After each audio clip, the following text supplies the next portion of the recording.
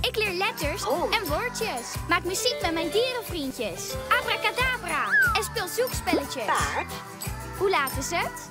Vier uur. Abracadabra. Ik maak mijn eigen kunstwerk. Abracadabra. Of krijttekening. Mijn magisch bureau. Spelen, leren,